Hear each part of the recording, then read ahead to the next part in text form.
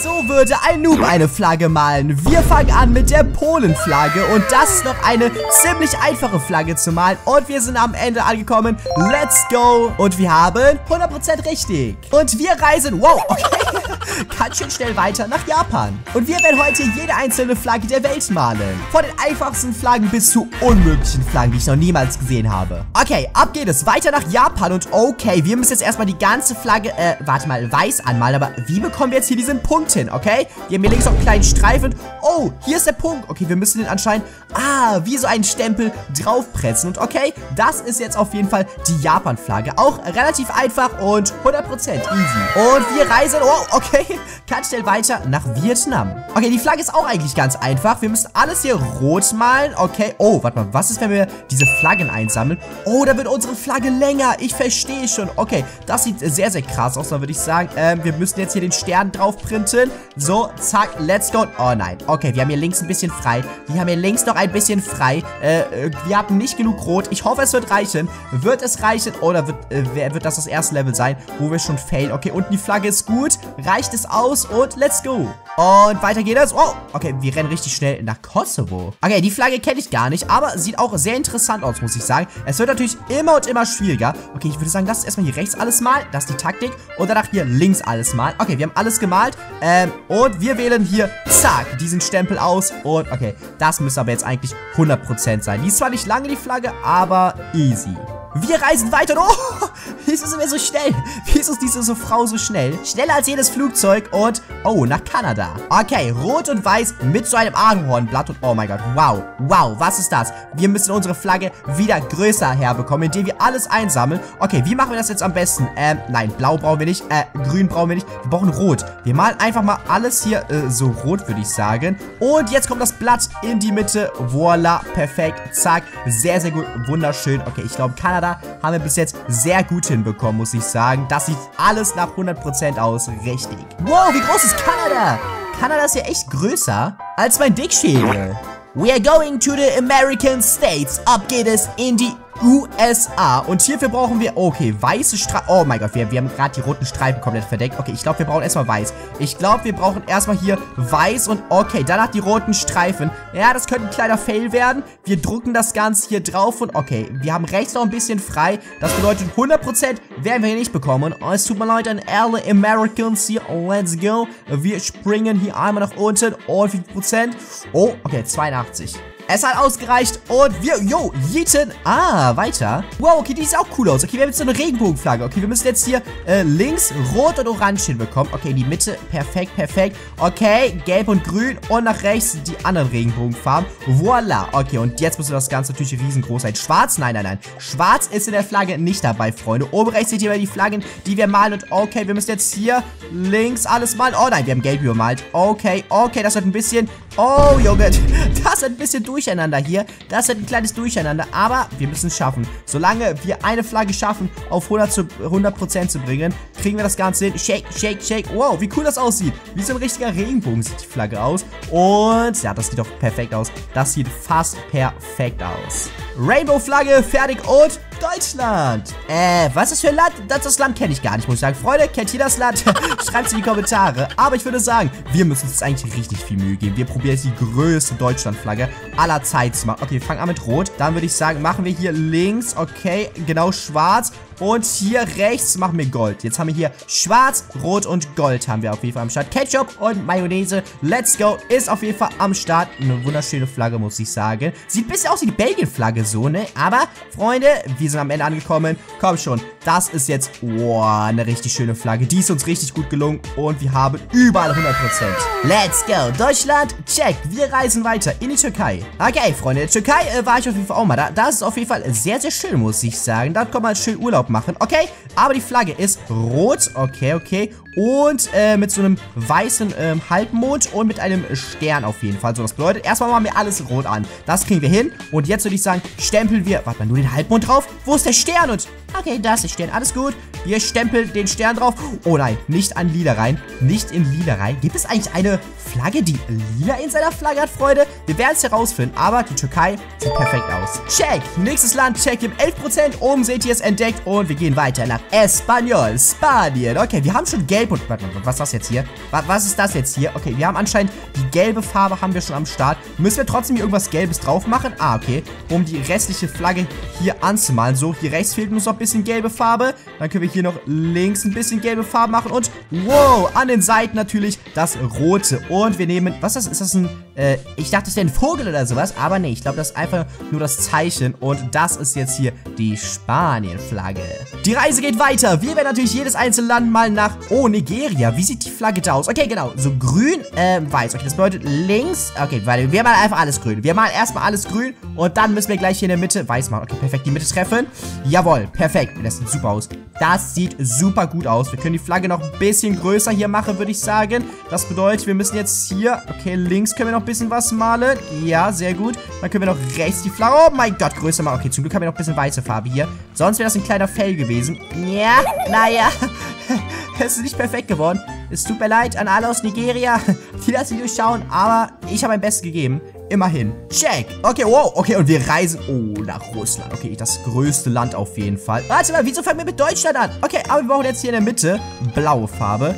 Dann brauchen wir hier weiß und an der Seite brauchen wir rot. Nein, oh mein Gott. Fast bin ich in die schwarze Farbe gelaufen. Aber okay, das sieht doch schon mal gut aus. Aber die Flagge muss noch größer werden, Freunde. Und ihr merkt, die Flaggen werden immer und immer schwieriger. Am Anfang, ähm, ja, gab es immer nur eine Farbe natürlich. Und mittlerweile, oh mein Gott, gibt es mehrere Farben mit mehreren Mustern und so weiter und so fort. Und wir sind fertig mit der Russland-Flagge. Okay, hat das ausgereicht? Und, oh, wir haben die falschen Flaggen oben eingesammelt, sehe ich gerade. Das wusste ich nicht, aber okay. Wir haben einen großen Bereich auf jeden Fall ausgefüllt. Weiter geht es in die Ukraine. Ah ja, die Flagge ist wieder einfach blau und gelb. Muss ich sagen, orange dürfen wir da nicht einsammeln, oder? Weil hier bekommen wir dann, nein, hier bekommen wir orange Farbe. Okay, aber wir können ja eigentlich einsammeln, dass die Flagge größer wird und dann die Farbe später ändern. Wisst ihr?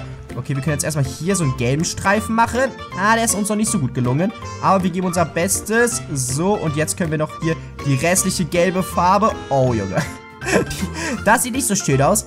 Das sieht nicht so schön aus. es könnte sein, dass wir failen sogar. Aber was? Okay, das sieht doch schon mal besser aus. So ist uns die Ukraine-Flagge auf jeden Fall besser gelungen. Alter, ich glaube, das könnte wirklich sogar 100% sogar sein. Tja, das erste Land, wo wir gefailt haben. Aber weiter geht es nach Griechenland. Auch ein sehr schönes Land, aber... Oh nein, die Flagge, was ist das denn? Oh mein Gott, okay, das wird schwierig. Das wird schwierig. Okay, ich würde sagen, Freunde, Konzentration. Wir fangen erstmal an mit Blau. Wir malen erstmal hier alles entspannt blau an, würde ich sagen. Okay, hinten haben wir noch einen großen braunen äh, Bereich. Dann kommen hier die weißen Streifen. Zack. Und wir, ähm, genau, printen hier das Griechenland-Symbol drauf. Das Kreuz. Ja, auch eine schöne Flagge, muss ich sagen. Aber ein bisschen kompliziert zu malen. Aber, uh, werden wir es hinbekommen? Ja, natürlich. Wir reisen weiter und nach Thailand. Okay, die Flagge kenne ich gar nicht. Oh, okay, die sieht so, oh, so aus. Nein, wie soll ich das jetzt hinbekommen? Wir haben Rot, Weiß und Blau. Okay, Blau ist in der Mitte. Blau ist in der Mitte. Oh, nein, das ist nicht die, oh, nein, oh, nein. Okay, warte, wir müssen Blau machen. Äh, links und rechts sind äh, äh, Streifen. Okay, und hier nochmal in der Mitte sind weiße Streifen. Ey, das, das, sieht gut aus. Das sieht gar nicht mal so schlecht aus, muss ich sagen. Das hätte ich echt nicht gedacht. Aber okay, das ist jetzt auf jeden Fall die Thailand-Flagge. Sieht ein bisschen aus wie so Zahnpasta, wisst ihr? Äh, oder? Oder sehen, oder sehen nur ich das? 19% haben wir mittlerweile entdeckt und Albanien. Okay, mit dem albanischen Adler hier drauf. Okay, die Flagge ist wieder relativ einfach, muss ich sagen. Einfach nur rot und dann den schwarzen Adler drauf. Das bedeutet, wir machen erstmal hier rechts alles, so die rote Farbe. Ähm, oh Junge, oh Junge. Okay, dann hier links in der Mitte ein bisschen. Überall. Komm schon, überall alles muss rot sein. Perfekt. Okay, okay. Fresh, fresh, fresh. Und, nein, das ist die Japan, das Japan-Symbol. Wir machen den Adler drauf. Yeah, okay, das sieht fresh auf jeden Fall aus hier. Zack, Freunde, schreibt auch mal gerne in die Kommentare, ob deine Flagge bis jetzt in dem Video auf jeden Fall war. Also Deutschland hatten wir auf jeden Fall schon gehabt, aber wir haben natürlich noch einige Länder vor uns wie Argentinien. Warte mal, das ist nicht Argentinien, das, das ist Brasilien. Das erkenne ich sogar, aber okay, okay, Argentinien könnte wieder ein bisschen äh, schwieriger werden. Wir fangen erstmal an mit... Uh, Oh mein Gott, okay, ja, hier draußen. Ja, naja. Wir brauchen noch ein bisschen Weiß hier in der Mitte. Ja, oh mein Gott. Oh mein Gott, nein. Ich hoffe, es kommt noch ein bisschen Weiß. Wir können äh, die Sonne drauf packen. Zack, let's go. Aber, oh Junge, oh Junge, ich weiß nicht. Ich weiß nicht, wir bekommen nur blaue Farbe, sehe ich da hinten. Okay, blau brauchen wir eigentlich nicht. Wir können hier das Ganze so blau färben. Okay, dann können wir hier... Oh mein Gott, warte, hier können wir echt nichts färben. Wir können hier noch was blau färben. Okay, und hier in die Mitte. Komm schon, in die Mitte. Let's go. Und... Okay, noch ein bisschen stempeln. Stempel, genau, stempel alles ab. Voila, voila, perfekt. Argentinische Flagge. Die sieht besser aus als das Original hier. Guck mal, wie viel Mühe ich mir gegeben habe. Und man sieht, die Flaggen werden schwieriger. Sie werden schwieriger. Oh, Mongolei. Oh mein Gott, was ist das jetzt hier? Was ist das hier? Okay, okay, wir brauchen blau. Konzentration. Einfach blau in die Mitte. Ähm, ich glaube, okay, wir machen einfach überall blau hin. Zack. So, und dann kommt hier links. Okay, rot. Oh mein Gott, okay, das ist ein bisschen zu viel. Das war ein bisschen zu viel. Okay, das war ein bisschen zu wenig. Kein Problem. Wir machen hier so ein bisschen was. Und Oh mein Gott, wir packen hier drauf. Oh nein, oh nein. Was ist das? Was ist das? Was ist das? Das ist auch so eine kleine Flagge. Und? Okay, es hat gereicht. Ha, darauf kommt es an. Hauptsache, es reicht Aserbaidschan, direkt neben der Türkei. Er ist auch eine schöne Flagge, muss ich sagen. Mit coolen Farben. Darauf freue ich mich auf jeden Fall auch bis jetzt. Okay, oh mein Gott. Okay, das könnte vielleicht die größte Flagge sein, die wir jemals gemalt haben. Wir sammeln so viel ein. Oh mein Gott, Junge. Wie viel? Wieso wird die Aserbaidschan-Flagge so groß? Okay, okay, wir machen erstmal hier in die Mitte rot. Dann machen wir hier so, ai, blau. Ai, ai. Freunde, ich glaube, das wird nichts. Was ist das? So eine schöne Flagge und ich habe sie ruiniert. Ich, ich, es tut mir leid. Es tut mir leid an Aserbaidschan, aber vielleicht wird es reichen. Vielleicht wird es reichen, aber nein. So sieht das Ganze doch schon mal ein bisschen besser aus. Nicht perfekt, aber okay, doch, man erkennt auf jeden Fall, dass die Flagge sind. Wow, wie weit sind die Mädchen runtergesprungen? Hallo? Alles gut da unten überhaupt? Das war echt eine ziemlich große Flagge. Und oh, wohin geht's jetzt? Nach Chile. Chile? Chile? Chile? Cheese? Ich weiß nicht, ich weiß nicht. Aber die, wie die Flagge aussieht, das weiß ich auf jeden Fall. Okay, weiß brauchen wir eigentlich nicht, ne? Also, äh, eigentlich brauchen wir keine weiße Farbe. Können wir das Ganze benutzen? TikTok? Nein, also noch gibt es kein Land mit einer TikTok-Flagge. Ich hoffe, ich hoffe, dieses Land wird auch niemals existieren auf jeden Fall. Sonst, ähm, ich würde da gerne nicht wohnen, muss ich sagen. So, aber die Flagge sieht cool aus. Die Flagge gefällt mir. Wir machen das rot und dann machen wir hier links immer schön den Sticker hin. Joa, joa, ist in Ordnung, würde ich sagen. Kann man machen. Nicht perfekt, Freunde, aber was ist schon perfekt? Und okay, es hat gereicht. Sehr gut, weiter geht es. Die Reise geht weiter nach, uh, Kroatien. Auch ein schönes Land und eine schöne Flagge, muss ich sagen. Gefällt mir sehr gut. Wir geben uns Mühe. Okay, wir haben einen Greenscreen. Wir haben bis jetzt einfach einen Greenscreen hier vorne. Los, okay, okay. Die zwei Mädchen geben ihr Bestes, die Flaggen hier ranzuschieben. Oh, hier ist schon die erste Farbe. Oh, rot. Okay, okay, ich glaube, das war ein bisschen zu viel rot. Das war ein bisschen... Was? Was ist das? Oh, ne. Oh, oh, wow. Es tut mir leid. Es tut mir leid. Kroatien. An alle aus Kroatien. Es tut mir leid. Es tut mir leid. Was ist das? Ich habe die Frankreich Flagge und...